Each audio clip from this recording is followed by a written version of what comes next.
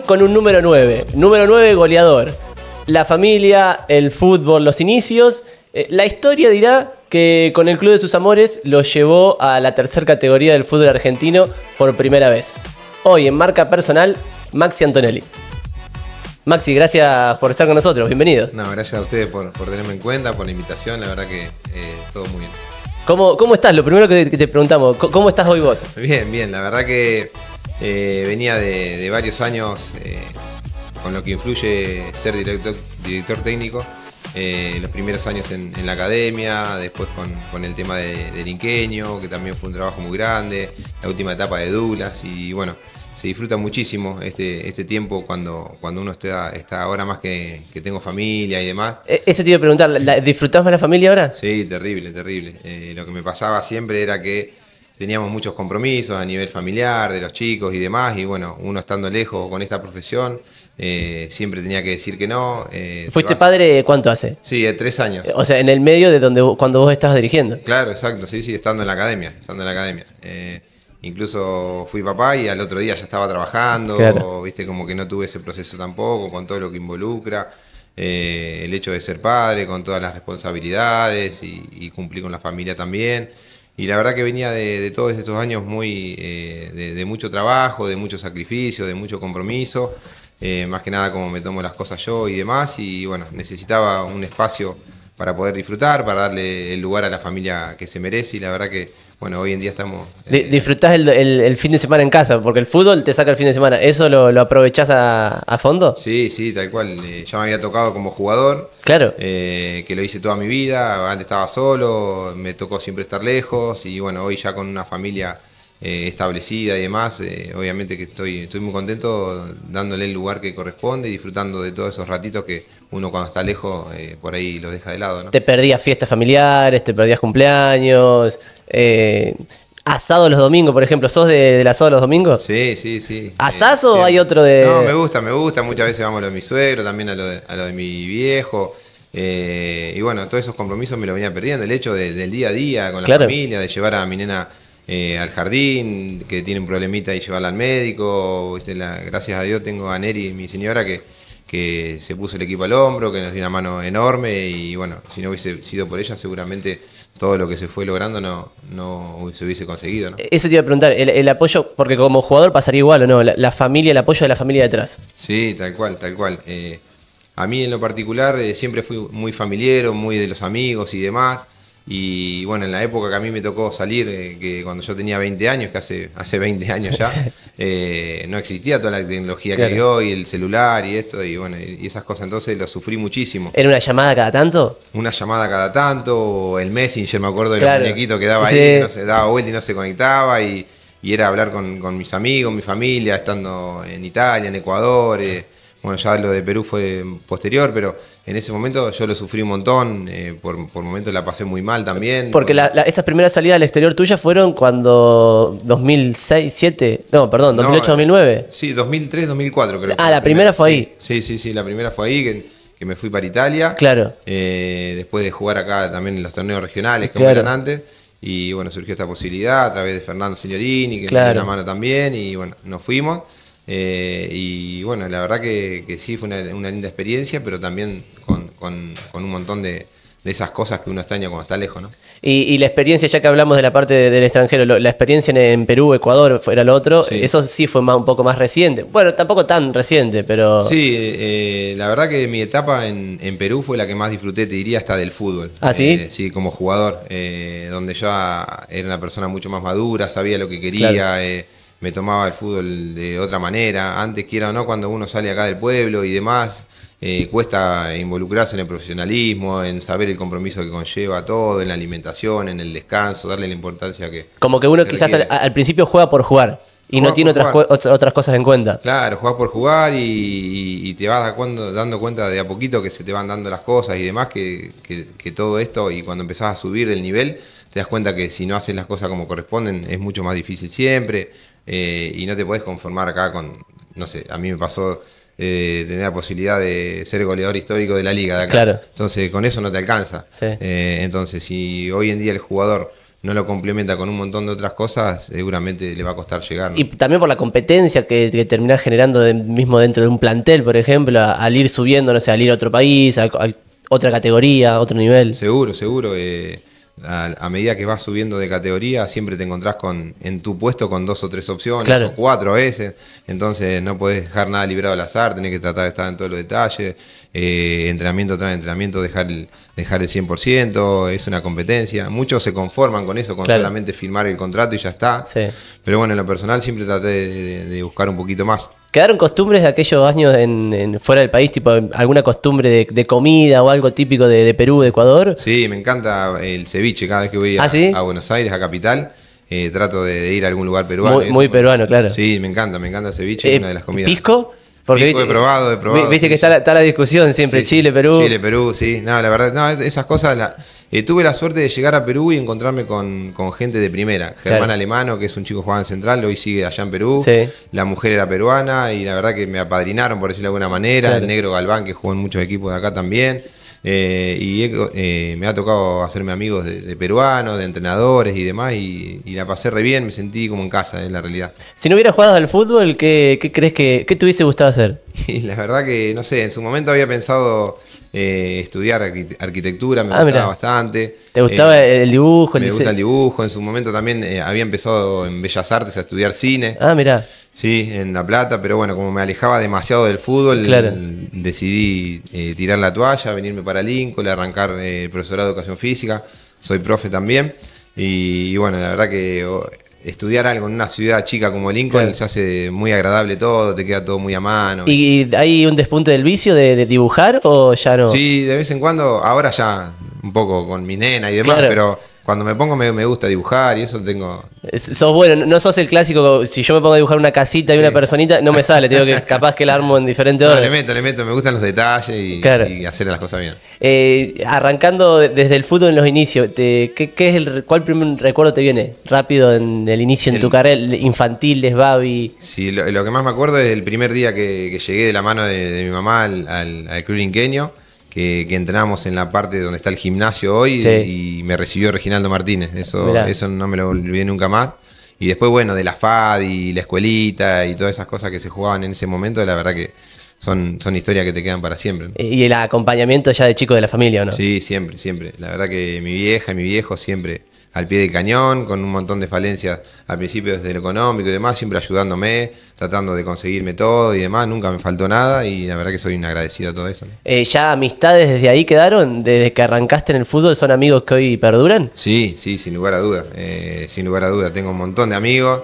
eh, yo siempre digo que la- las grandes amistades se hacen dentro de una institución, por eso siempre recalco que hay que proteger a los clubes y demás, porque eso, las relaciones que uno puede hacer ahí te quedan para toda la vida. Eh, ¿Tu hermano jugó al fútbol? ¿O Sí. juega, por ejemplo, lo hemos visto también los sábados? Sí, sí, sí. Eh, porque siempre se arma una discusión de qué hermano es mejor, cuál es, si uno es mejor que el otro. Eh, ¿Es mejor que vos o pelea mejor, cabeza a cabeza? Eh, yo tengo más constancia. Eh, eh, ¿es ¿Otra posición o no? Sí, otra. En, en su momento llegamos a jugar los dos en primera. ¿Ah, jugaron juntos? Sí, tenemos fotos y todo, los dos de delantero.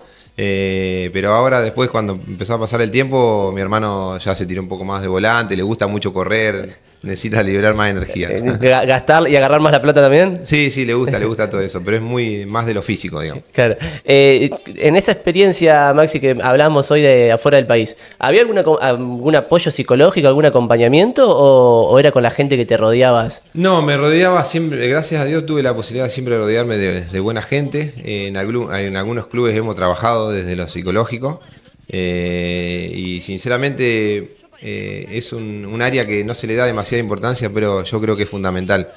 Eh, uno no sé si es por idiosincrasia o de qué, pero siempre se niega a esas cosas. Claro.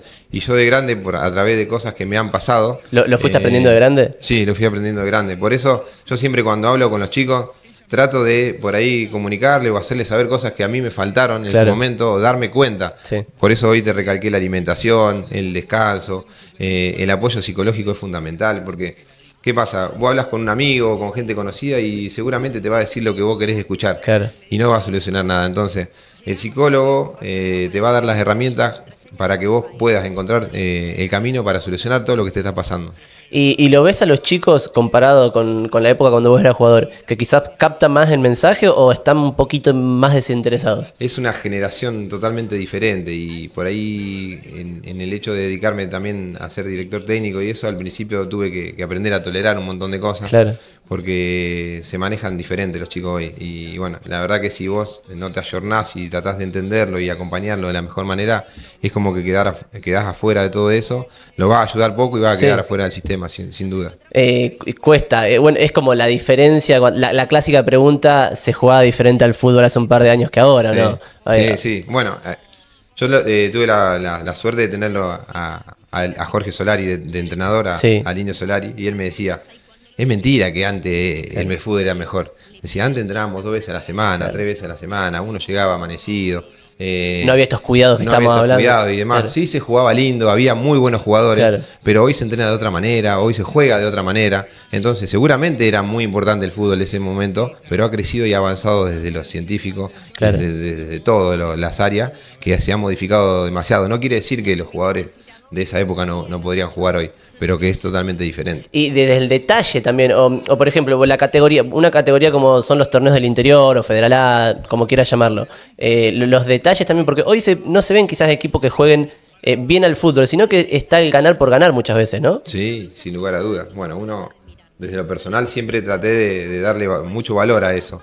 Eh, de intentar jugar bien, de no, de no eh, conseguir las cosas como sean. Claro. Me pasó trabajarlo mucho en la academia, eso, donde uno trabaja con, con juveniles, eh, donde tenés que tratar eh, minuto a minuto de demostrarle al chico que hay otros caminos, que no es ganar por ganar, y, porque en formación más que nada es fácil poner al grandote Claro, le tira por corre o centro le pega y- al arco claro. y, y el arquero petizo y te hacen el gol y te gana, pero esos chicos a medida que van creciendo llegan a los 15 años y no saben jugar al fútbol. Claro. Entonces tenés que brindarle las herramientas necesarias como para que se puedan desenvolver y, y hacerle entender que el fútbol es otra cosa. Si tenés que elegir, ¿preferís eh, la formación en juvenil o, o un equipo directamente en primera? No, en primera, en primera. eh, hay, eh, hay muy pocos formadores y hay que prepararse demasiado. y- No cualquier formador. No, y una vez que, ¿qué me pasa a mí? Al- el hecho de haber sido jugador y me, me capacité un montón para, para ser eh, formador. Sí. Pero una vez que empezás a agarrar ya los equipos de primera es como que vos necesitas, en lo personal yo necesitaba esa competencia. Claro. Esa competencia en el día a día, la adrenalina, el salir, el pensar que el domingo tenés que ganar sí o sí, que... Como esa presión personal, quizás. Exacto, esa presión personal de- del día a día. Eh, yendo a otra experiencia tuya, ¿te quieren casi igual que en Lincoln, en Sunchales? Sí, en Sunchales, eh, bueno, tuve la posibilidad de, de jugar en tres temporadas. Eh, ¿Tres Hacer- temporadas diferentes fueron? Sí, tres temporadas diferentes. Con Kudelka, Claro. con Delfino. eh, y, y bueno, con Delfino tuve la segunda etapa también, un, un periodo que hasta Claro. que se fue Antoniano. Eh, ¿Que y él, bueno, él te lleva a Antoniana también? ¿O no, no, no. vos eh, Él, eh, cuando yo voy a Antoniana, él está, pero después yo ya arreglo todo de palabra con la gente de, de Libertad Sunchales, que Claro. tiene una relación excelente, y él me quiere llevar a Antoniana, y bueno, por no quedar mal, Claro. le dije que no por- para volver la segunda vez a Antoniana. Exacto. Ya había estado. Pero en Sunchales tengo, eh, tengo amigos, amigos, tengo grupos de amigos eh, y gente conocida que me ha tratado de primero. eh, es una ciudad muy parecida a Lincoln, ¿o ¿no? También. Sí, sí, totalmente, totalmente. Me- me- yo la, la pasé muy bien en Sunchales. Eh, siempre los resultados eh, acompañan. Tuve la posibilidad de salir Claro. goleador en, en el torneo Federal A, que, con todo eso que, lo que implica eso y demás. Y al ser ciudad de chica también eh, la pasión que se vive. enseguida. Sí. la verdad que bien. y hoy que está un poco más retirado de la parte profesional del fútbol, Libertad, se extra- con la gente que solés hablar, como que lo extrañan o eh, sienten que, que tienen ganas de volver. Sí, sí. El, el fútbol es un chales. Lamentablemente hoy está sufriendo una crisis importante. Ya no tienen el, el apoyo de Sancor, de Atilra, que Claro. antes era... eh, Era la base de lo Era, era todo. eh, Incluso en el básquet. Incluso el básquet, a mí me ha tocado, nosotros comíamos en el club y, y comía el Cepo Ginóbili, el. Colorado Volkovitsky, comíamos todos juntos en una mesa, Claro. ¿entendés? Eh, para que tengan eh, cuenta el alcance que tenía el- incluso el básquet. Y era iban, el- iban a los partidos de básquet en aquella Sí, época. Sí, sí, esperábamos terminar el partido y a la noche íbamos, porque era como que habíamos hecho un grupo tan lindo entre todos los jugadores de básquet y los de, los de fútbol, que nos ayudábamos todo el tiempo. Y, a- y aparte muchos, la gran mayoría fuera de, no, no eran de ahí de la ciudad, sino que eran de otro lado, del interior. Claro, había chicos de ahí, como Cer- Ceruti, que, que es el, el- el profe de Kudelka, el hermano, Sí. un gran jugador ahí. Y después, bueno, con Cepo comíamos siempre, que es de afuera. Bueno, el Colo estuvo un año, Robert Bat, también todos jugadores muy conocidos para el ambiente, eh, Gringo Peluzzi, eh, todos jugadores que incluso han jugado en selección y demás, y estábamos todos ahí, y era como, es, un pueblo, es, como acá. Es como acá. Sí. Eh, pasaron, tuviste muchos compañeros, y tenés que elegir, este era distinto, este era muy bueno. Un jugador distinto, sí. y yo tengo debilidad por Luciano. Millares. Sí, por Luciano, que bueno. ¿No, encontraste ninguno parecido a lo largo de, tanto tiempo de, carrera que diga, eh, tiene algo? la verdad, y siempre lo hablo con, Fer Signorini, con Walter en su momento. Eh, y Fer me dice, yo para mí, eh, eh, Luciano era hasta más que la vez. Y, y ellos han tenido la posibilidad de, de, vivir el día a día. Pero bueno, es, eh, lamentablemente en el fútbol de hoy no alcanza con jugar bien al no, No, sin duda. Entonces Lucho le dio prioridad quizás a, otros aspectos que él pensaba que estaban bien. Claro. Y lo disfrutó a su manera y no, no hay nada para cuestionarle porque él hizo lo que quiso. ¿Lo disfrutaste jugando eh, en Linqueño? Sí, totalmente. Eh, viéndolo cuando no estaba y jugando con él, nada, la tenía que empujar nomás. Y cuando, era, cuando eras chico, en aquellos inicios, ¿a quién, a quién veías, por ejemplo, de, algún, de algún primer equipo de Linqueño, por ejemplo, que te acuerdes? sí, me acuerdo un montón. tenía yo tenía debilidad por, por Adrián Rodríguez, que el, día de hoy, por más que sea arquero, el día de hoy que, yo me sigo hablando, eh, con Walter, con el Cusi. El Cusi era, era Dios para nosotros. Eh, eh, era tan bueno como se dice el Cusi porque vos hablás con más la gente de tu generación, por ejemplo, y, te dicen lo que juega el Cusi. No, yo lo veía, ya lo agarré, obviamente, la última, la última etapa de él y, la recuerdo como si fuese hoy. Era, era un jugador de potrero, era un jugador de potrero. Y bueno, Luciano también, siempre, por eso lo, lo nombré hoy. Luciano era para mí fuera de serie, un, chico totalmente habilidoso y potente a la vez, que no, no existe eso. Que incluso quizás no le faltaba, no necesitaba tantos entrenamientos para llegar al fin de semana y, rendir a su manera. Y Lucho, para, para el nivel que jugamos acá, él tenía que llegar bien al fin de semana, eh, bien desde lo físico, sin ninguna lesión y demás. Pero Lucho era un animal, tenía que poner 10 inyecciones para antes de jugar, se las ponía. No tenía problema. No tenía problema, pero bueno, eh, él hizo lo que quiso. Tu, relación con, Diego, con Castaño, que bueno, después como dupla técnica, eh, ¿dónde, dónde, dónde arranca? ¿Dónde lo conoces? Lo de Diego fue muy loco porque eh, siempre la contamos en, algunos lugares o reuniones que hemos tenido. Él jugaba en Linqueño y yo jugaba en Rivadavia. perdón, yo jugaba en Linqueño y Diego jugaba en Rivadavia y nos marcábamos. En las pelotas paradas nos claro, marcábamos. Porque en ese entonces Diego, defensor central. Sí, eh, no, eh, Diego de 5. Ah, de 5 y en las paradas. Ah, ahí está. En las pelotas paradas, en, las pelotas paradas nos marcábamos eh, mutuamente. Y en una pelota parada, cancha de Rivadavia, la, la hinchada del Inqueño atrás. Sí. Diego, yo estoy mirando la pelota y mirándola a él y me, me pega una piña en el estómago que me dobla. y yo digo, está toda la hinchada acá, no me puedo quedar así. Así que también fui, le metí. Y bueno, desde ahí quedó todo medio mal. Ese fue el primer cara a cara con Diego. Ese fue el primer cara a cara con Diego. Y después un día me lo encontré. Eh, yo volvía para mi casa y él estaba en, un boliche que había acá enfrente de la terminal que se llama La Máquina. Sí. Y me hace seña así que vaya y yo me meto. Y ahí nos tomamos una cerveza y nos hicimos íntimo amigos. Hicimos una relación espectacular. Es más, cuando yo me voy a Tigre, él habla muy bien de mí, junto con Juan Carlos y demás. Ah, ¿él ya estaba en Tigre o Él ya estaba en Tigre, sí, sí. Ah. Él ya estaba en Tigre y bueno, Ricardo Caruso Lombardi, bueno, me llama eh, y bueno, me dice que Diego también había hablado muy bien, que él me venía eh, siguiendo en los torneos argentinos. Eh, así que bueno, fui a una prueba Tigre, quedé con, con, Caruso y bueno, me quedé un año completo en Nacional B. ¿Y, y, cuándo surge lo de técnico? Bueno, la primera experiencia fue un paso por argentino, ¿no? Que era al revés, la dupla, podemos decir. Exacto, sí. Yo estaba con, a pleno con Armando, junto con Hugo Débol y también el proyecto de, de la Academia Mascherano. Claro. Eh, y, bueno, me llama, me llama la gente de argentino, me llama Diego, me dice dame una mano, que son mis primeros pasos, necesito que me acompañen. digo, bueno, Diego, contá conmigo, hablo con Walter, me da permiso. Y estuve un año completo con Diego en argentino. Después me voy a trabajar a la academia y bueno, viene lo de LinkedIn. Y, para, y además ahora eh, comparten el, el fútbol de, los sábados. Claro, sí, sí, tenemos un equipo ahí. Eh, ¿Siguen jugando en cada uno en su posición o hay...? Sí, sí, jugamos, Diego juega de 5, yo juego de 9. No, no, es que hay un cambio de decir, bueno, voy a ser defensor, un día soy arquero. No, no, no, dentro de todo nosotros seguimos jugando siempre ahí en la misma posición. ¿Y, el entrenador eh, el entrenador del equipo de los sábados, cómo dirige, cómo posiciona? Porque... Gustavo Decillo, la verdad que nada, un fenómeno el encargado de armar el equipo, el Drink se llama. Y, bueno, va armando en base a lo. Al, bueno, tenemos un grupo, es un grupo de amigos, se podría decir ya. Eh, donde disfrutamos muchísimo, disfrutamos mucho del tercer tiempo también. Que Bueno, eso es algo que también, al no estar trabajando, que disfrutás un poco más. también. Sí, antes no lo podía hacer, ni como jugador, ni incluso cuando sos técnico también, estás ahí, viste, como diciendo, te está todo el mundo mirando, querés tomar algo. ¿O, te, te han llegado a decir algo también? No, no, decir nada, no, no, decir nada, no. Yo dentro de todo eh, nunca tuve problema con nada, con ese tema. Eh, he visto muchas peleas por Linqueño, Rivadavia, y esto, y yo siempre fui muy respetuoso con la gente, tengo la mejor. Es Eso te más, preguntar. voy a ver Rivadavia cuando puedo. ¿Y tenés buena relación con gente de, de Rivadavia? Sí, muy buena relación, muy buena relación con gente conocida, me, me junto a comer y demás, gente que, eh, dirigentes, jugadores, no tengo ningún problema, la verdad que siempre he sido muy respetuoso y la gente de Rivadavia ha sido muy respetuosa conmigo. Cuando vos eras jugador, ¿estuviste cerca alguna vez eh, de, de jugar en Rivadavia cuando Rivadavia jugaba aquellos torneos argentinos? Mira, tuve eh, dos posibilidades importantes de jugar en Rivadavia, que una fue cuando yo me voy a Boca Unido de Corrientes, Sí. eh, que Rivadavia desde lo económico me ofrecía lo mismo, que- porque es la realidad, que estaba Juan Carlos, estaba Gustavo Berg también en ese momento, y me hablaron y bueno, yo estaba, había quedado medio pendiente con Darío Kudelka también, porque yo me voy, del Inquenio me voy a Libertad Sunchales, juego Sí. seis meses y me llama el Olmedo de Ecuador. Claro. Entonces me voy a mitad de torneo. Eh, cuando después de regreso, eh, Darío me dice, venite a Boca, que, que estamos armando un equipo bárbaro, vamos a pelear. De hecho, terminamos ascendiendo en Claro. Nacional B.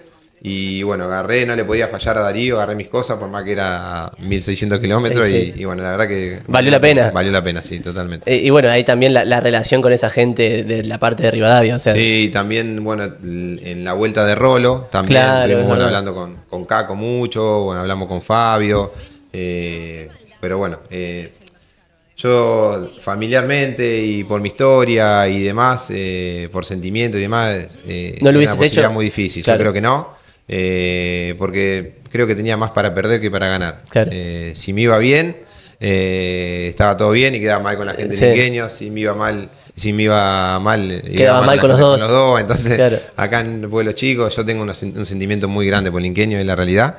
Entonces creo que, que no se hubiese dado. Eh, antes de, de meternos en esa etapa de- del inqueño técnico, el, rapidito por el- la etapa de Douglas, eh, ¿no eh, quizás te encontraste con un equipo que. o te encontraste con algo que no esperabas en Douglas? Con Douglas, eh, mira, te comento lo que yo pienso y como en el cuerpo técnico pensamos eh, lo mismo. Eh, nos encontramos con un equipo donde teníamos que jugar con cartas que no eran nuestras. Claro. Nos llevan con una idea de juego y cuando nosotros estábamos en la negociación de que sí, que no, que sí, que no, veíamos que iban llegando refuerzos. Entonces, de primera, ustedes no- que nosotros no habíamos pedido. Claro. Que no quiere decir que sean malos o buenos jugadores, sino que eran diferentes a la idea de juego que nosotros teníamos. Entonces, nosotros teníamos eh, una manera de entrenar y de jugar que fue por lo que nos llevaron, Claro. en la cual no podíamos eh, llegar eh, a salir adelante en Douglas. Después, Douglas, los dirigentes de primera, eh, las instalaciones de primera, la gente de primera no han tratado, no tenemos, pero nada que reprochar. Es como el, el llegar en el medio de, una, de un campeonato a otro equipo. Sí, tal cual. Podemos Sentíamos decirlo de esa forma. Sentíamos que para llevar adelante el, el- el proyecto teníamos que renunciar a nuestra idea. Claro. Y para eso preferimos dar un paso al costado. En la realidad no hubo otra, eh, otro motivo ni nada.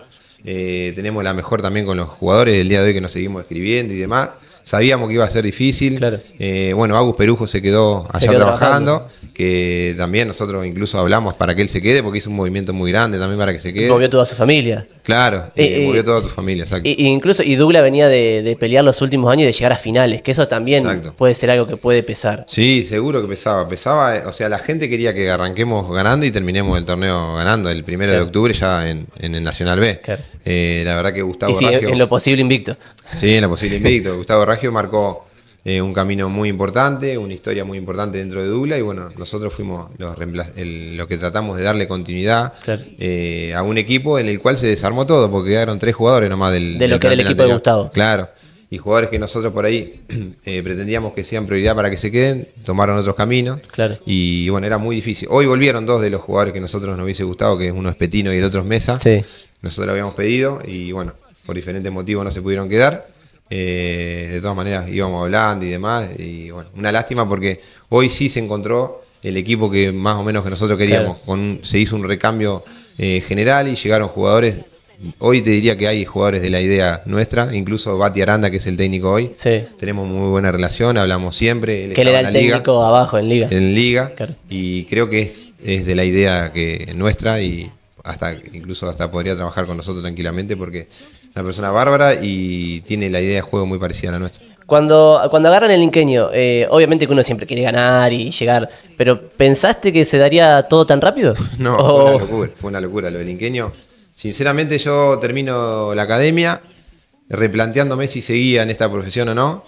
Me llama Ramiro con la idea del inqueño y demás, que se iba a Julio, eh, con todo lo que significaba también reemplazar a Julio, que, que venía de, tener buena, buenas muy buenas etapas. campañas, Claro. y yo lo de lo personal lo aprecio muchísimo. Gran jugador también decía. Sí, gran jugador, también lo vi en la última etapa.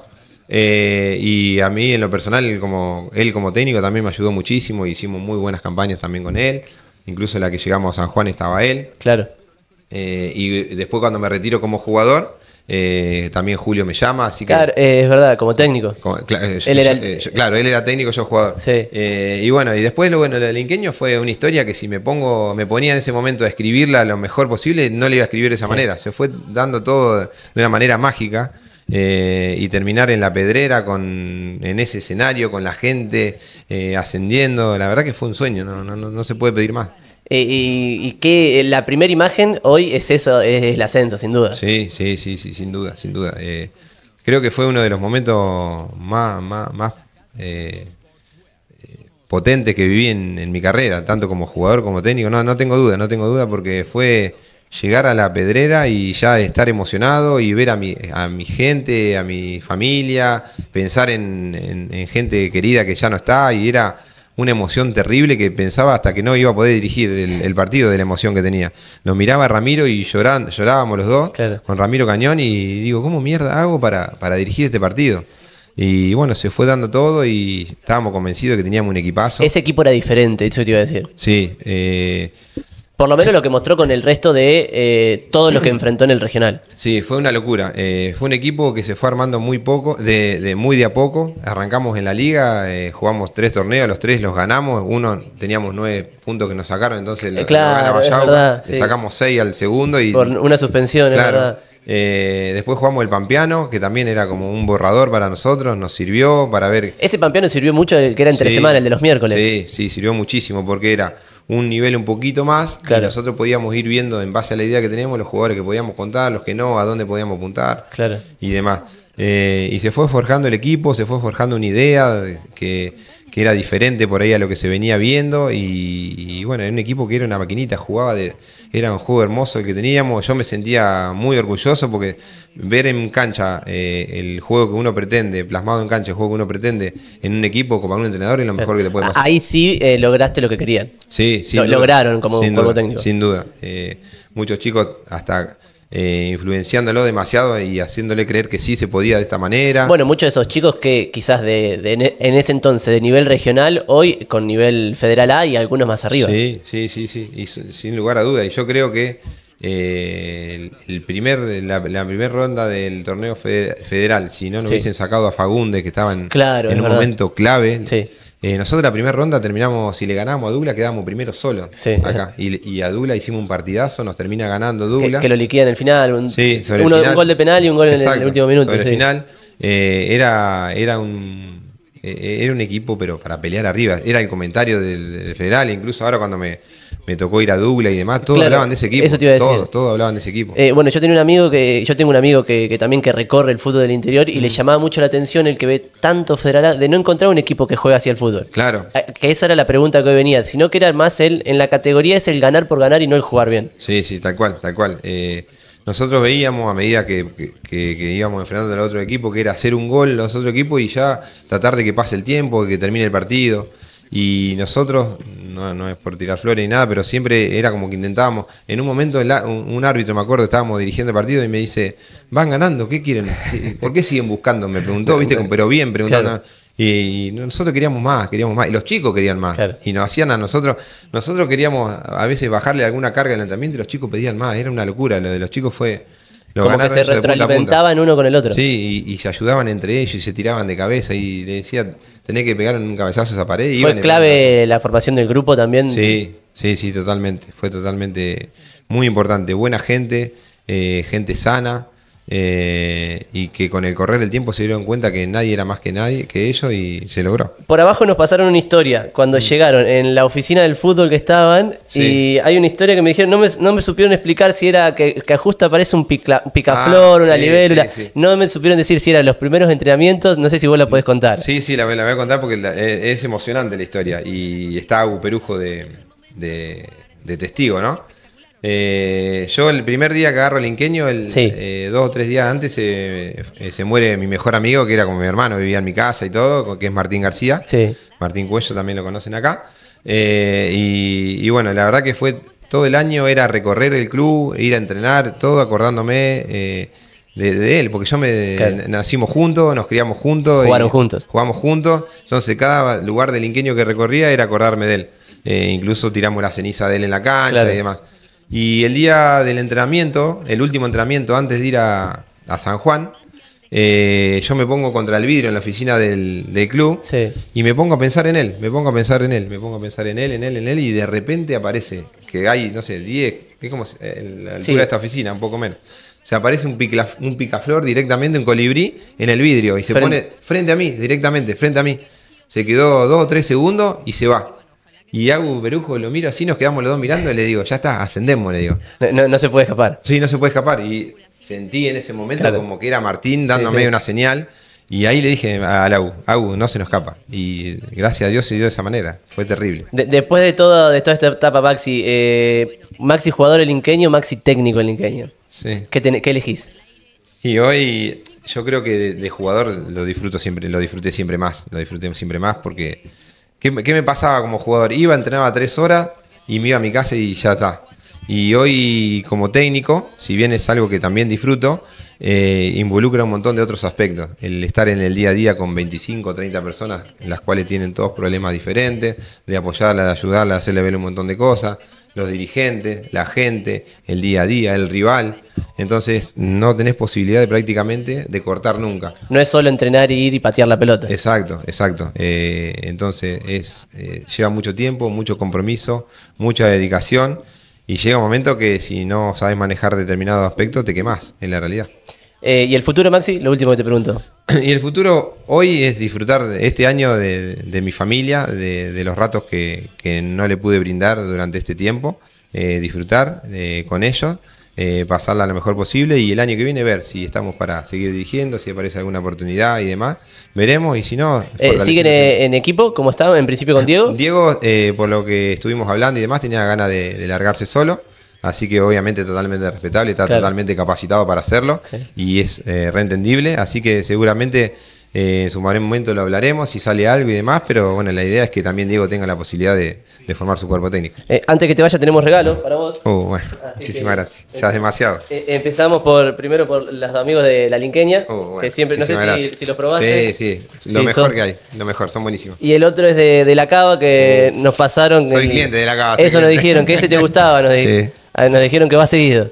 Así Sí, que buenísimo, buenísimo. eh, también sabíamos lo- los gustos. Bueno, muchísimas gracias, Eh, muchísimas y gracias. lo último que, que quieras agregar, agradecer o, o saludar a alguien eh, es el momento. No, agradecer a mi familia por el apoyo de siempre, a la gente de Lincoln en general, porque yo, si bien me tocó estar del lado de, del Linqueño, siempre me sentía hasta respaldado por, por Lincoln entero, es la realidad.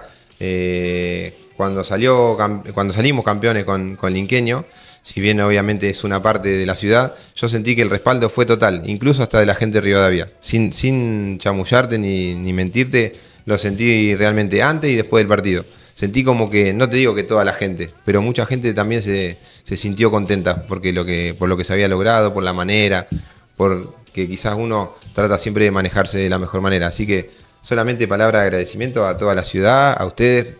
Ah, y déjame también recalcar el laburo que haces vos, Cabe, con tu equipo y demás, porque ¿qué me ha pasado en el último tiempo? Que eh, muchos periodistas y demás desde la casa preguntándome y, y demás, hace cuenta que hacía la nota yo. Claro. Y tener gente que acompaña día a día, que te acompaña los fines de semana, que viaja, que se rompe el, se rompe el lomo eh, tratando de juntar un mango para, para cumplir y demás, la verdad que es totalmente eh, de- destacable, así que bueno, quería felicitarte a vos y a tu equipo por todo eso. Maxi, gracias por estar aquí en Marca Personal. No, por favor, gracias.